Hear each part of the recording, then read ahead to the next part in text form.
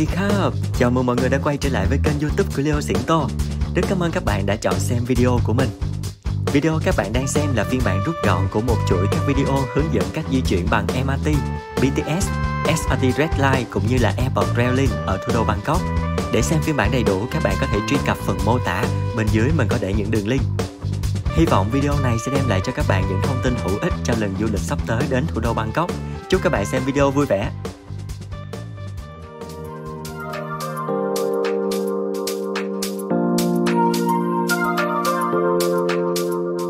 Sân bay đầu tiên mà Leo review cho mọi người trong ngày hôm nay sẽ là sân bay quốc tế Đo Mường nằm cách thủ đô Bangkok khoảng 15 cho tới 17 km về phía bắc của thành phố.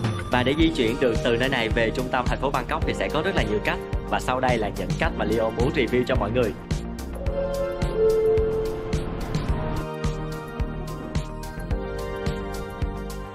ga quốc tế của sân bay quốc tế Đo Mường thì sẽ nằm ở terminal số 1 cho nên mọi người lưu ý thông tin này. Khi mọi người đáp xuống thì sẽ đáp ở terminal số 1 và từ terminal số 1 đi ra thì mọi người quẹo vào bên phía tay trái thì nó sẽ có một cái khu vực gọi là meeting point. Thì đây cũng sẽ là cái cách di chuyển đầu tiên cho mọi người về trung tâm thành phố Bangkok một cách đơn giản nhất đó chính là taxi.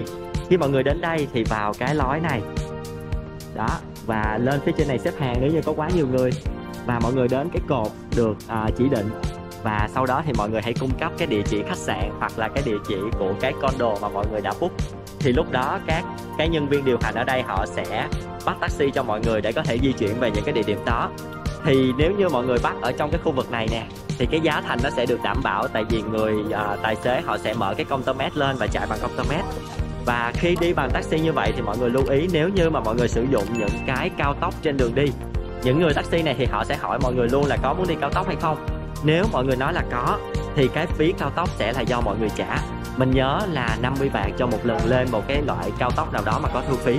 Nếu có đi cao tốc thì nhớ trả thêm tiền cho các bác tài nha.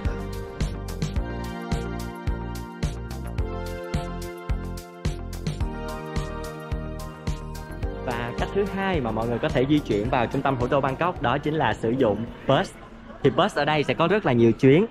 Đây, mình sẽ chỉ cho mọi người ha nó có chuyến A1, A2, A3, A4 và tất cả các loại vé thì đều sẽ trả ở trên cái uh, chiếc xe bus khi mọi người lên luôn.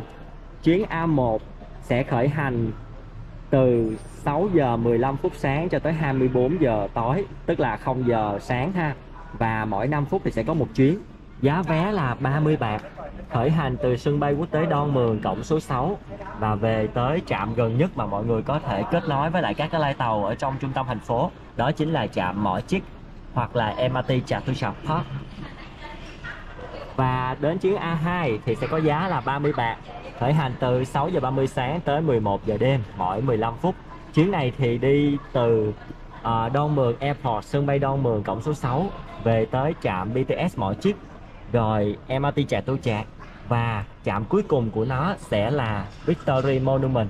Nếu như bạn nào đặt khách sạn ở những cái trạm này thì có thể xem qua ha. Trên đường đi thì sẽ chạy ngang BTS Safan Khoai BTS Ari và BTS Sanam Pao đấy ai đặt khách sạn ở những trạm này thì lưu ý. Và tiếp theo là chuyến A3 thì sẽ di chuyển à, khởi hành chuyến đầu tiên vào lúc 7 giờ sáng đến 11 giờ tối mỗi 30 phút. Giá vé là 50 bạc. Từ Đon Mường cộng số 5 lưu ý là cộng đã khác rồi nha mọi người. Chúng ta sẽ di chuyển từ Đon Mường về tới Lumpini Park. Lumpini Park là cái khu vực gần Sĩ Lơm. Các bạn nào đặt khách sạn ở Sĩ Lơm thì lưu ý cái chuyến số A3 này. Sẽ di chuyển qua rất là nhiều các cái MRT khác ví dụ như là BTS Ratchadamri BTS uh, Xã La Đen hoặc là MRT Sĩ Lơm. Đấy ai ở khu Sĩ Lơm thì chú ý cái A3 này ha. Và đi mấy bên like không à, cuối cùng chúng ta sẽ có chuyến A4 di chuyển từ lúc 7 giờ sáng cho tới 23 giờ tối và mỗi 30 phút. Giá vé là 50 bạc từ Don Mường về tới khu vực khao Sạn Road. Khao Sạn là một trong những cái khu vực rất là nổi tiếng luôn cho nên là bạn nào đặt khách sạn ở khu vực này thì lưu ý chuyến A4 giá vé là 50 bạc mọi người nhé và cộng sẽ là cộng số 5 đó. Thì như mọi người thấy là các cái chuyến bus này á, nó có 4 chuyến quan trọng nhất hai chuyến khởi hành từ cửa số 6 và hai chuyến khởi hành từ cửa số 5 giá vé cũng sẽ khác nhau và địa điểm hoàn toàn khác nhau luôn. Cho nên là khi đi thì mọi người nhớ là kiểm tra xem cái khách sạn của mình hoặc là cái địa điểm mà mình lưu trú, nó nằm ở gần cái trạm tàu nào nhất thì chọn cái loại xe buýt đó cho phù hợp hen.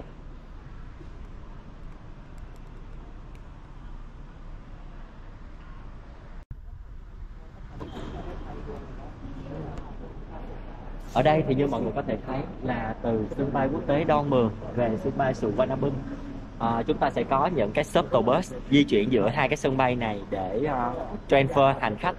Thì ở đây cái chuyến mà mình thấy gần nhất sẽ là bus số 47 vào lúc 5 giờ chiều.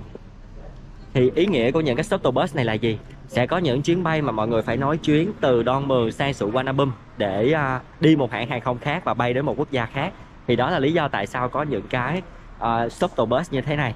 Đây là một trong những cái thông tin khá là quan trọng dành cho các bạn nào cần phải di chuyển giữa hai sân bay ở thủ đô Bangkok. Thì mọi người nhớ note lại để có thể di chuyển ha.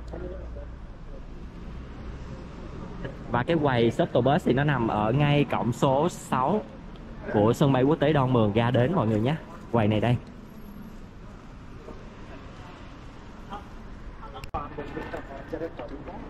Và ở đây không phải là ai cũng có thể sử dụng được cái shuttle bus này và mình thấy là phải show ra những cái giấy tờ cho cái việc chuyển đổi chuyến bay giữa hai cái sân bay. Và bên cạnh đó là passport hoặc là cái chứng minh nhân dân của mọi người. Thì mọi người mới có thể sử dụng được cái dịch vụ shuttle bus này mọi người nha.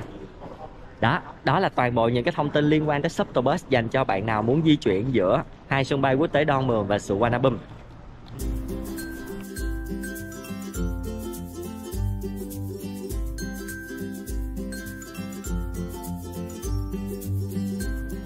Và cách thứ ba mà Leo muốn hướng dẫn mọi người đó chính là sử dụng tàu điện để đi về thủ đô Bangkok.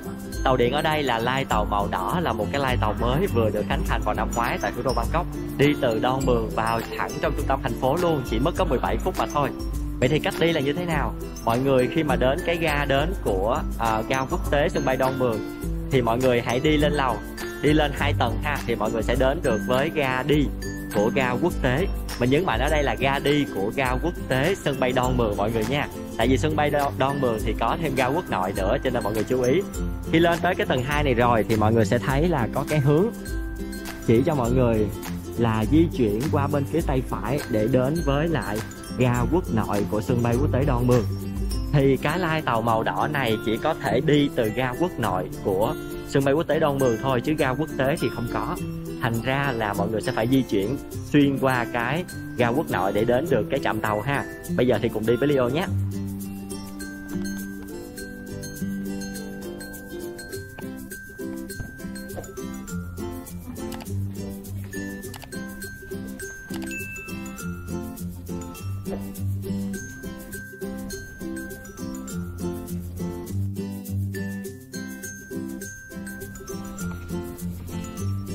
Mình đã có mặt ở ga quốc nội của sân bay quốc tế Don Mường rồi. À, đi một khoảng rất là ngắn thôi mọi người băng qua cỡ 100 mét là mình có thể qua được với cái sân bay quốc nội này rồi. Sau khi đến được ga quốc nội thì mọi người hãy đi xuống bên dưới. Hiện tại thì chúng ta đang ở lầu 3 ha. Thì mọi người sẽ đi xuống bên dưới để có thể bắt được cái lai tàu màu đỏ này. Sẵn tiện đây thì Leon cũng muốn nói cho mọi người cái ưu và nhược điểm của cái cách di chuyển này. À, lai tàu màu đỏ này thì từ cái trạm tàu Don Mường về lại trung tâm thành phố Bangkok ở trạm Bàng Sư thì chỉ mất có 17 phút thôi. Nhưng mà cái lịch trình tàu này thì mọi người sẽ phải kiểm tra tại vì khoảng 20 phút thì nó mới có một chuyến tàu. Vào những cái giờ cao điểm trong ngày thì nó sẽ là 12 phút. Cho nên là không phải lúc nào ra thì cũng có tàu ngay đâu nhé mọi người. Và cái thứ hai là như lúc nãy Leo nói với mọi người á thì à, ở bên cái ga quốc tế thì sẽ không có cái đường để đi qua cái à, uh, chạm tàu màu cái lai tàu màu đỏ này mà mọi người phải băng qua cái sân bay quốc nội. Thành ra là cái đường di chuyển mà kéo hành lý từ sân bay quốc tế ra đến cái trạm tàu lai màu đỏ này thì sẽ rất là vất vả cho mọi người. Nếu như mọi người rụng rỉnh thời gian và muốn trải nghiệm thì ok, có thể chọn cách này. Còn nếu như mà đi với đám bạn đông hoặc là có trẻ em và người lớn thì Leo không khuyến khích mọi người đi theo cái cách này nhé. Nó sẽ rất là vất vả luôn. Ok, ở đây khi mà mọi người xuống tới tầng 1 của ga quốc nội thì sẽ có một cái bảng chỉ dẫn như thế này. Đi thẳng là sẽ tới SRT Red Line thì đây là cái tàu điện lai màu đỏ mà Leo nói với mọi người lúc nãy tới giờ đó. Bây giờ thì cùng đi với Leo xem cái tàu điện này nó như thế nào nha.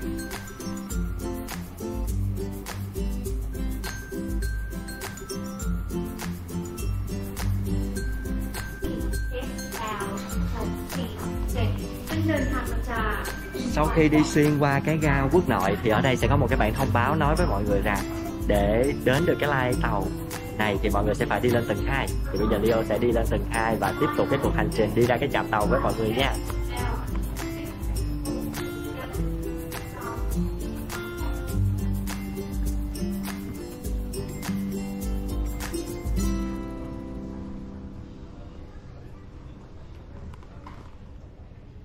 Nhắc lại với mọi người một lần nữa là cái đường tàu này chỉ dành cho những người có thời gian có sức lực à, đem hành lý ít đi một mình hoặc là đi với nhóm bạn trẻ trung thì mình nên đi cái lái tàu này. Còn đối với những người mà có em bé, có người cao tuổi hoặc là đi với nhóm gia đình thì nên bỏ qua cái lựa chọn này nha. Việc di chuyển đi qua bên này rất mệt. Và đây là cái đường dẫn từ trong sân bay đi ra cái chạm tàu nè mọi người. Ở trong cái đường dẫn này thì có rất là nhiều cái quán ăn, nhà hàng, có 7-Eleven có tiệm thuốc cho nên là các uh, bạn nào có nhu cầu thì có thể đi đến cái đường dẫn này mình ăn uống rồi mình đi vào trung tâm thành phố cũng được ha. Đây ở đây có một cái gọi là airport street food. Trong này để mình đi vô quay cho mọi người xem một vòng.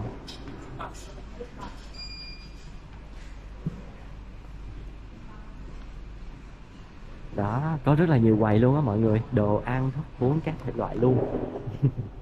hôm nay thì mình không có dư giả thời gian để có thể ngồi lại review đồ ăn ở trong này cho mọi người được, mà mình phải từ đây di chuyển qua bên Suvarnabhumi để review cho mọi người cái cách di chuyển từ Suvarnabhumi về lại trung tâm thành phố.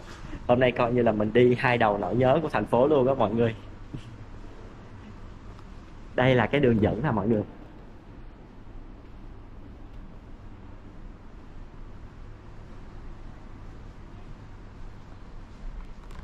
Cái đường dẫn này thì có máy lạnh rất là mát mẻ luôn. Nhưng mà cái việc một trong những cái điều mà khách du lịch Việt Nam mình qua Thái Lan và cảm thấy nó là ác mộng đó, đó chính là việc phải đi bộ quá nhiều. Cho nên đó là lý do tại sao mình không có khuyên mọi người nên đi cái cách này. Tại vì mới vừa đặt chân đến Thái Lan mà phải đi bộ kiểu này rồi thì chắc ấm ảnh luôn cả chuyến đi.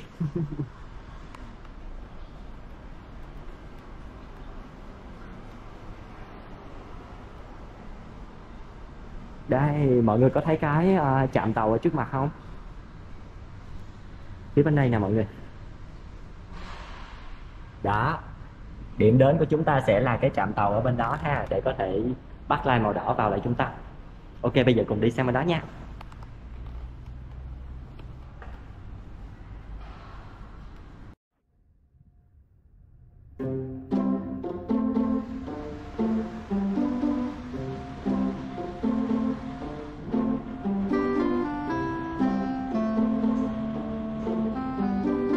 Như vậy thì chúng ta đã đến được với cái lai tàu màu đỏ để đi vào trung tâm thủ đô Bangkok rồi. Để mình tìm cái bản đồ cũng như là cái giá vé và cái thời gian hoạt động của cái lai tàu này và giới thiệu cho mọi người nha.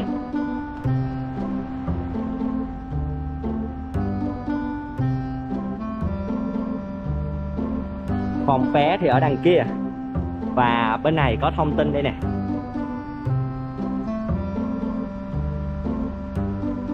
Đây lai tàu của chúng ta là lai màu đỏ ha mọi người.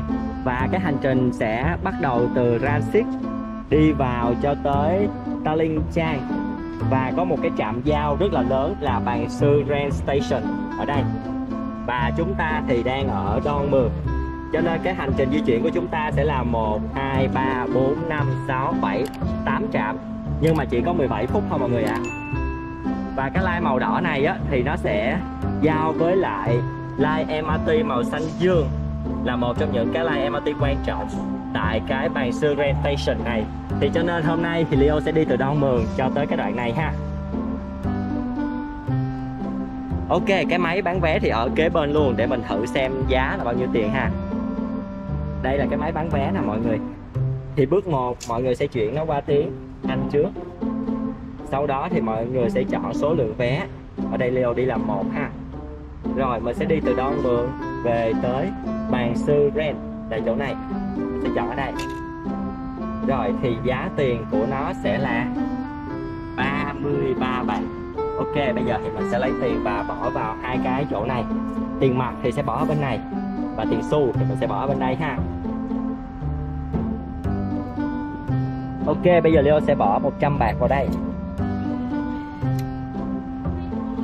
Dạ. Và vé sẽ bắt đầu được đổ ra. Đây, cái token sẽ rớt xuống trước ha mọi người. Đây là cái vé của mình nè. Và tiền xu được thói lại. 33 thì sẽ thói lại là 60 67 bạc. Ok. Vậy là chúng ta đã có vé để đi. Đó, thì cách mua vé rất là đơn giản, mọi người chỉ cần xác định đúng cái trạm tàu của mình và mua vé thôi. Đơn giản như vậy ha. Thì uh, tranh thủ hướng dẫn cho mọi người luôn á là cái lai tàu này nó sẽ tên là uh, bàn sư và Ranxit thay vì là bàn sư Don Mường tại vì Don Mường nó nằm ở phía giữa của cái trạm bàn sư và cái trạm Ranxit cho nên là khi mọi người bắt những cái lai tàu thì nhớ là cái trạm cuối của mình là Ranxit thì chắc chắn thế nào cũng đi ngang trạm Don Mường ha bây giờ thì có vé rồi Leo sẽ đi vào bên trong đây.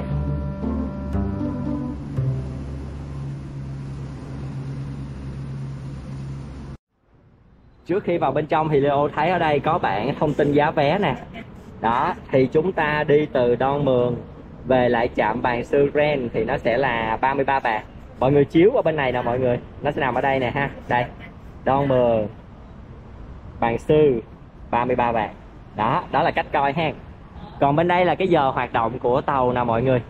Thì mình thấy ở đây cái uh, bàn sư Grand Six thì nó sẽ hoạt động từ 5 giờ 46 cho tới 12 giờ 15 tối. Thì ý nghĩa của cái đo mường transit này là gì? Đo mường transit là nó sẽ chạy về phía còn lại của cái lai tàu đo mường, chứ không phải chạy vô trung tâm thành phố, cho nên là mọi người cẩn thận. Cái mà mình xem á, sẽ là đo mường đi bàn sư ren đây ha, nó sẽ khởi hành từ lúc 5 giờ 37 phút.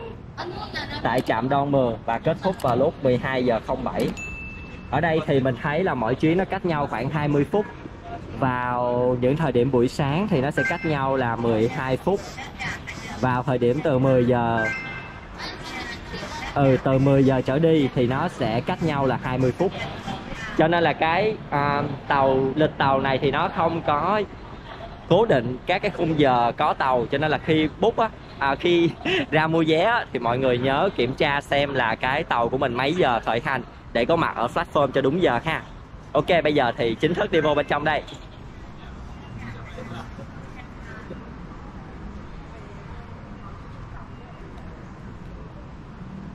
Mọi người sẽ để cái token vô đây nè. Cổng sẽ mở ha. Rất là đông người luôn. Khi vào tới trạm thì sẽ có hai bên đường tàu để mọi người chọn nha. Bây giờ thì mình đang đi về hướng bàn sư ren, cho nên là mình sẽ đi qua bên này và đi lên phía bên trên để chờ. Đây platform.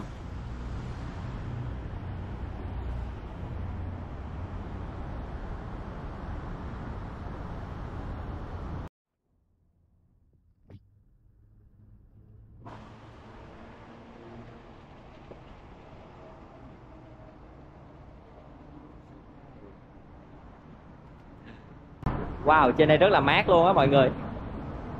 Mình đã lên được lai tàu rồi thì mình sẽ đứng chờ ở phía bên tay trái ha.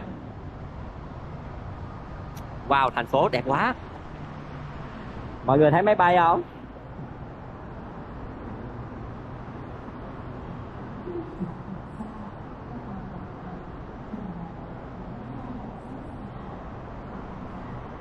ở bên kia là cái hướng ngược lại lúc nãy mà mình không có lên đó mọi người. Nó sẽ chạy về cái uh, hai cái chạm tàu cuối cùng của cái đường line này.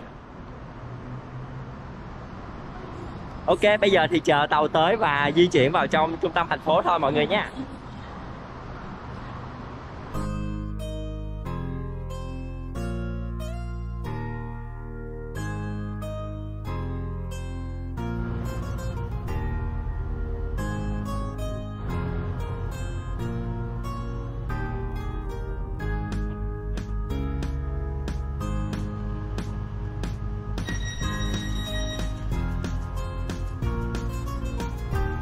người, vậy là mình đã lên được tàu rồi vào lúc 5 giờ 20 Và bây giờ thì sẽ đi lại vào trong trung tâm thành phố nhé.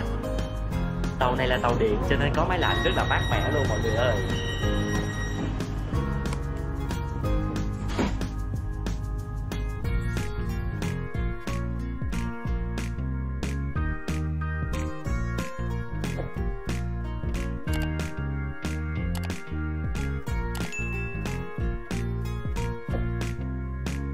Mọi người vậy là mình đã đến được với trạm Bàn Sư Grand Station. Hiện tại đang là 5 giờ 37 phút. Tức là như mình nói lúc nãy chỉ mất 17 phút từ ga uh, Don Mường để về đến ga này thôi. Cho nên cái việc mà mất sức và mất thời gian di chuyển nhất đó chính là khi mọi người di chuyển từ ga Don Mường đi vào ga quốc tế của sân bay quốc tế Don Mường ha. Còn những cái thời gian di chuyển còn lại thì rất là nhanh luôn. Bây giờ thì mình sẽ đi ra bên ngoài và hướng dẫn mọi người cái cách bắt MRT line màu xanh dương đậm để vào lại trung tâm thủ đô Bangkok. Ok, đi cùng mình ha.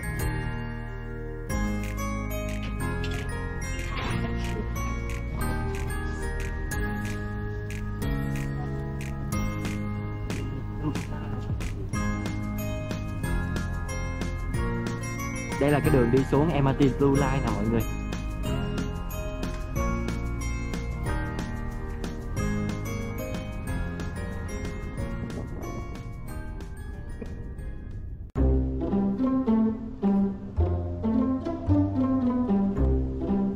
Như vậy là mình vừa rời khỏi cái bàn sư Grand Station để đi xuống trạm MRT tên là bàn sư mọi người nha.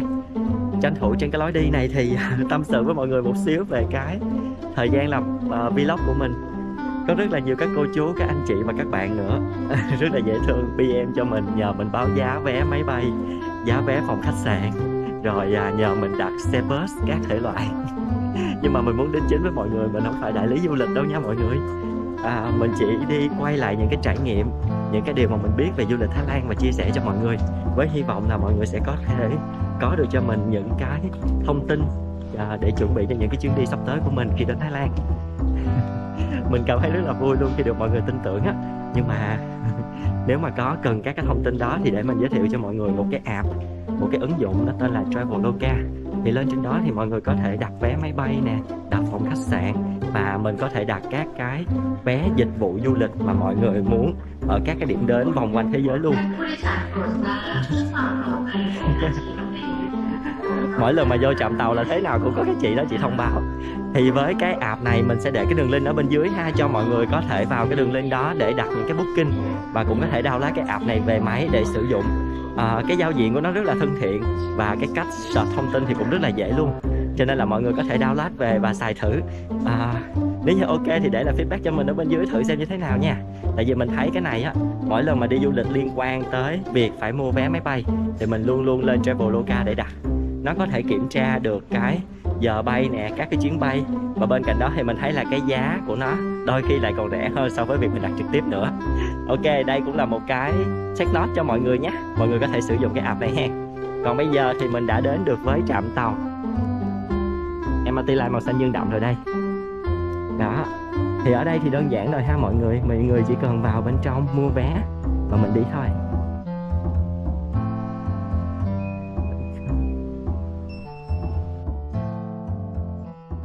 Trước khi mọi người mua vé thì để Leo chỉ cho mọi người cái cách coi bản đồ của MRT để mình xác định cái trạm tới của mình ha.